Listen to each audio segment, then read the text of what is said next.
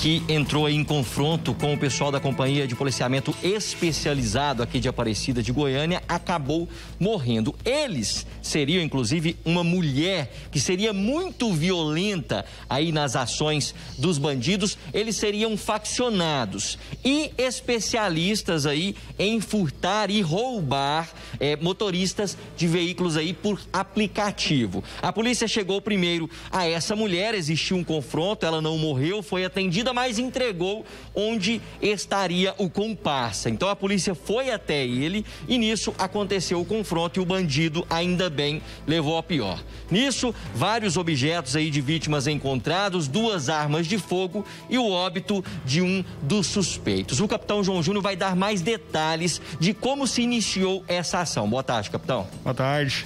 Iniciando, sim, ontem foi um dia memorável para a Polícia Militar, né? Então a gente conseguiu blindar o estado de Goiás, uma ação entre batalhões especializados e outras unidades, conseguiram dar a resposta certa e no tempo certo para a população de Santa Helena de Goiás.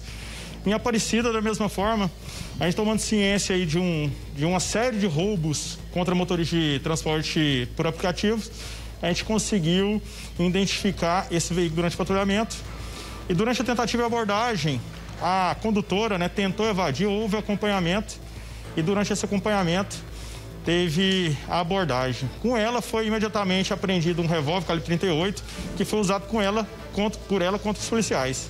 Na entrevista, essa mulher que já tinha diversas passagens faccionada, é, passagens por crimes como roubo, tráfico de drogas, ela indicou onde estava o seu comparsa. E ela, Tem até as imagens aí, ó, é, do momento do roubo desse Uber. Ela, além de ser faccionada, também é uma pessoa violenta ali nas ações criminosas. Exatamente. Nessas imagens que os senhores veem, é, ela, inclusive, o cara portando uma arma de fogo e ela uma faca, ela esfaqueou esse motorista, que depois teve que ser socorrido. Então, em ato contínuo, as equipes deslocaram até o endereço no setor Santo André, nas proximidades ali da antiga Mabel, e conseguiu localizar onde esse indivíduo estava tentando se homiziar. Durante a tentativa de abordagem, novamente, ele resistiu à prisão e atirou contra as equipes que revidaram. Ele foi socorrido, mas foi a óbito aí no hospital. E o que, que foi encontrado com esse pessoal?